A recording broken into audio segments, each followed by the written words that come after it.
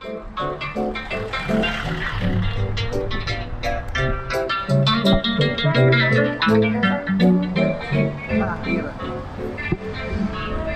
acá estamos este, yendo hacia el Teatro Cervantes, disculpe, eh, darle gracias, eh, para ver los carteles que estaban mientras recorremos estos carteles afiches acá, que es la costumbre, mala costumbre de poner afiches en la vía pública de cualquier cosa, ¿sí? de cosas políticas, cosas artísticas eh, y generar eh, contaminación visual. Y acá está el Teatro Cervantes, donde vamos a ver tal vez los únicos carteles ilegales partidarios eh, con total impunidad.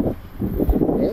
Y bueno, están viejitos ya, pero manipulación de las obras públicas con los partidarios, ¿sí? porque esos colores son del Partido Radical. Pero ya casi no hay carteles de este tipo en la vía pública, en Tandil, casi no hay. Pero bueno, eh, muy bien, se bien y gracias por todo el apoyo.